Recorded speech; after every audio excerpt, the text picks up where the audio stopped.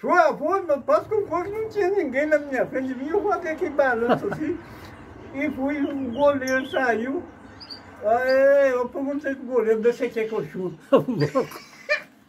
Ele falou, chuta onde você quiser. a rede esticada, aqui você pau, pé a rede. E aí pessoal, estou aqui no, na casa do Sochão, aqui no Barreiro, na casa do Sochão Sabão. Eu vim aqui conversar com ele sobre futebol, porque ele era um cara, era um cara meio ligeiro. E ele tem apelido Tchão Sabão eu quero saber qual é o motivo dele ter o nome de Tchão Sabão. Porque eu chego aqui na casa dele aqui, eu, Tchão Sabão. Então eu quero saber por que, que tem esse nome, Tchão Sabão. E ele está aqui. Eu vou cumprimentar ele, vou mostrar para vocês.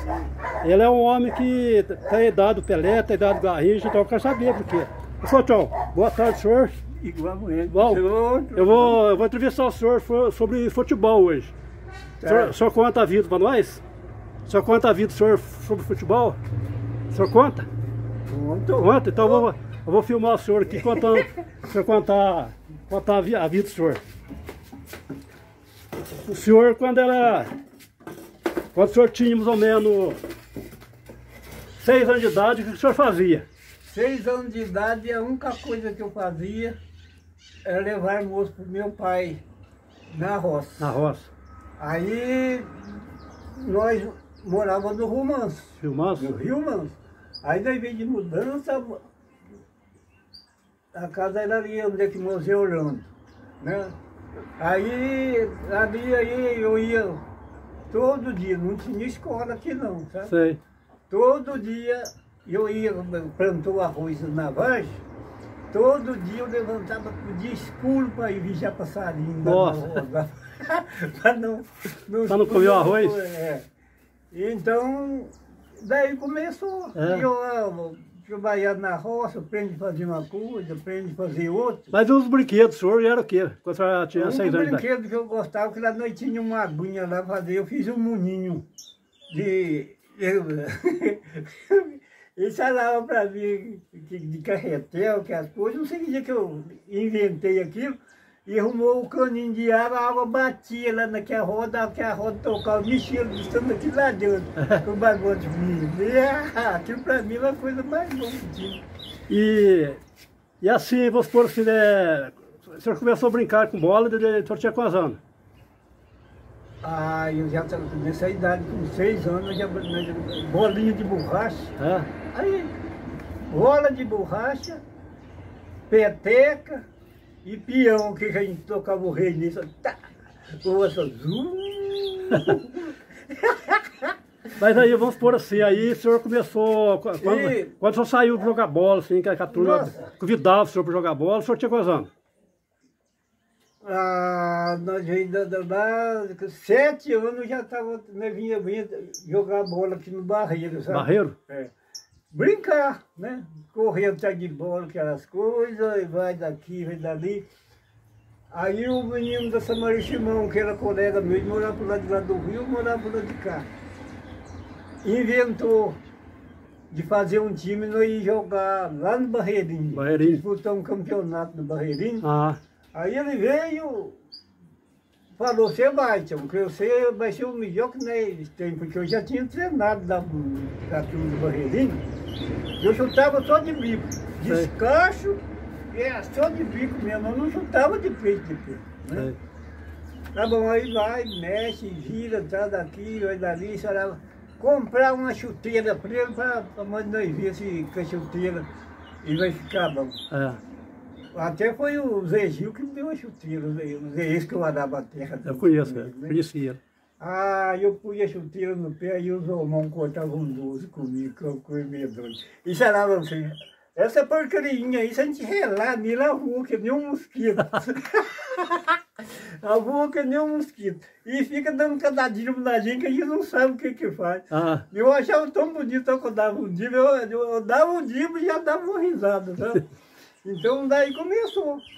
Agora, esse time que nós arrumou lá no Ponte Nova, o fazendeiro não dava so- sorte para os camaradas, sabe? sei. Aí eu falei para ele, olha, eu vou falar para o senhor, eu venho brincar aí com a turma, ver se arruma o time. Mas o senhor vai deixar na quarta-feira, deixar nós treinar. Ah, Na quarta-feira. Ele disse, meu pai levar isso para a roça, eu quiser ir para as duas horas, sorte a eles que vim para nós treinar para arrumar o time. E ele aceitou. E a turma falou, ô Tião, o que, que você tem? Eu estou gerando um munheco que é uma coisa medonha. Agora soltar nós para treinar, que você falou que é para nós treinar. Eu falei, arrumar time se não treinar, é. não tem jeito Tem que treinar, né? né? Aí eu fui o primeiro dia, lá na quarta-feira, montei minha bicicleta, eu tinha uma bicicleta Sei. montei nela aqui, bati pra lá, cheguei lá, não tinha ninguém no campo. Bah, Encostei a bicicleta no campo lá, fui na beira de baixo do campo, na de cima, tudo eu. Quando vi, começou a chegar, gente. Chegar, chegar, chegar. E chegando com uma alegria que eu fui me dando, por causa de ter a sorte de sair do serviço aquela hora largou mais cedo? É. Aí depois do treino, no primeiro treino, eu falei, nós temos que fazer o mesmo quatro treino para nós jogar contra o time lá da, da usina. Tudo bem. Aí fizemos quatro treinos, aí eu separei. Esse aqui estava jogando de meia esquerda, falei, isso aí não dá nada. Aí o ponteiro esquerdo, o Moisés estava jogando só chutar de pé esquerdo. Levei lá para a esquerda, esparrabei. É. E eu ajudando ali, eu fazia um judão, fazia o meio do campo, sabe? Foi dois tempos. Vamos lá jogar na répua, toquemos 5 a 0 no campo assim.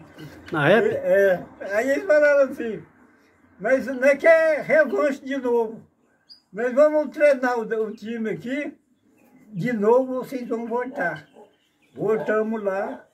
Ah, era quatro minutos de jogo, já estávamos de- ganhando de 3 a 0 da, 3 a 0? 3 a 0 do campo. Nossa. E então tinha um senhor lá que conversando comigo, estava jogando no time do Espirante, estava jogando, aí falou, ô, seu Tchau, eu disse que vocês têm um jogador lá, um pretinho, que não há quem cerca ele. né? Eu falei, ah, cerca sim, né?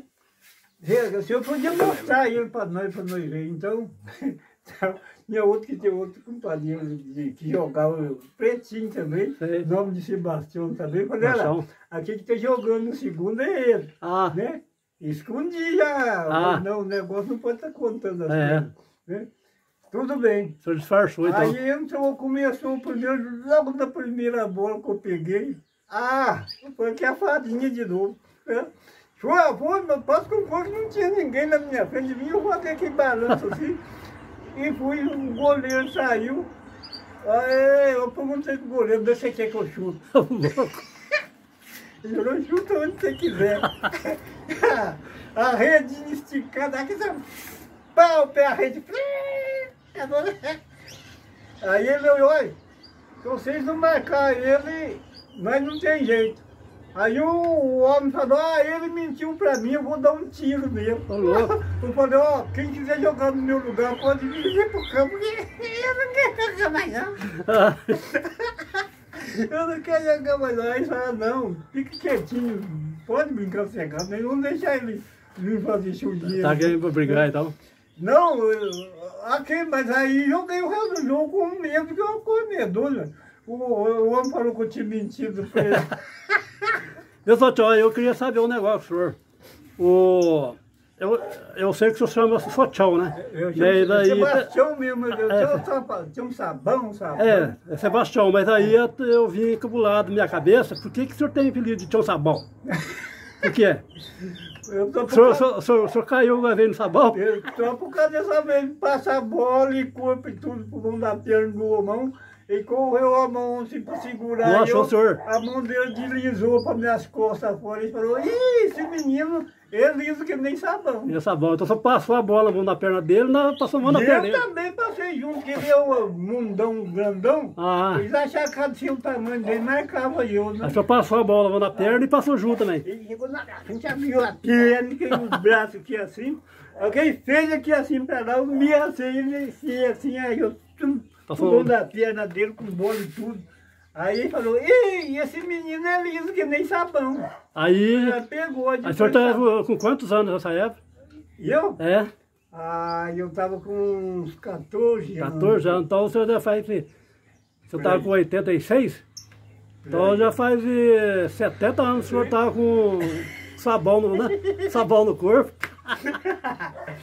Mas aqui é coisa mais gostosa. Não, mas é, é que eu vejo a turma falar lá no Mas- barreiro tinha um homem lá que era com sabão na, na, numa bola. Diz que era, ele Não. tinha um apelido de sabão porque ele era um sabão na bola. E eu Liso. teve um- uma fase que estava meio doido, ainda fiz, inventemos de fazer um jogo milionário de Itajubá, sabe? Um jogador mais, Ah, né, de mais de idade, um pouco mais milionário, era um time massa, né? ah, E nós morávamos na roça, o time na roça, e nós fomos fomos bater lá no estádio. Eu era medo. lá no Huracan? É. Huracan. É. Você tinha irmão daquele jeito, lá daquele jeito lá. Começou o jogo, eles cruzaram na bola. Eu subi e ficar pregado no peito. Ah, O negão mesmo daquele aquele grandão mesmo, fortão mesmo, valentão, lá, lá no futebol, tinha ordem. Ele falou, se vocês marcar esse menino, como é que nós faz? Eu nunca vi jogador de roça marcar a bola no peito desse jeito. Aqui pra nós foi gosto, né? ah, Eu nunca vi jogador de roça matar a bola no peito desse jeito. Esse time não era para vir aqui. Podia pôr o nome de uma cidade. Nós, nós não podemos fazer mais nada. Esse time está assombrou, não. Foi preciso o juiz roubar. O juiz time de "Olha, roça estar ganhando. é, eu tenho que roubar para de eu ser, senão o time de milionário tem que acabar. É, Que vocês moram da roça, invés de ter posto o nome do time de, time de cidade, é.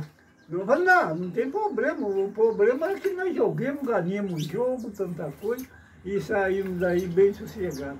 Ai, mas aqui eu, eu pegava uma bola, eu, falava, tampa a direita Deixa eu dele, ver um negócio. Tô achando que vai ficar meio.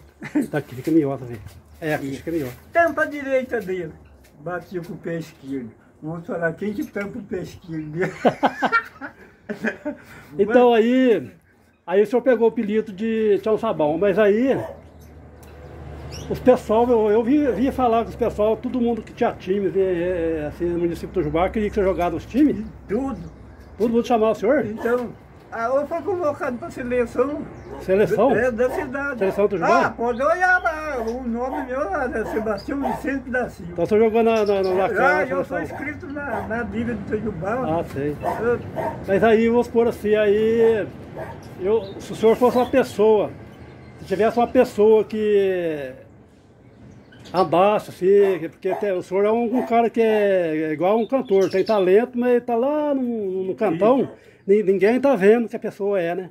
O, o senhor é um cara que foi bom de futebol.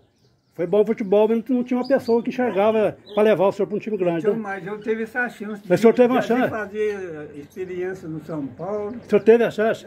Ah, O senhor O a cara levava, eu estava na casa dele, lá que ele morava em São Miguel Paulista. Ah, E ele era torcedor de São Paulo. Tinha o São Paulo ia jogar São Paulo e Palmeiras. por que, por que, que você não foi? Você perdeu a chance. Você podia, você podia ter jogado até na seleção assim. Eu brasileira. tive um mês andando por lá, passeando nessas coisas, né? Se o senhor fosse lá, se o senhor treinasse lá, passar. naquela época, Garrincha, Então, Pelé, Pelé que era a moda dele, ah, o senhor, o senhor não quis ir? Ah, eu não quis por causa da minha mãe. Eu tinha, Convidaram o senhor, que levar o senhor, senhor não quis ir. Mas o senhor, o senhor perdeu, eu porque... tinha minha mãe, e eu casei, minha mãe morou comigo, nós morávamos pertinho da fazenda. Né?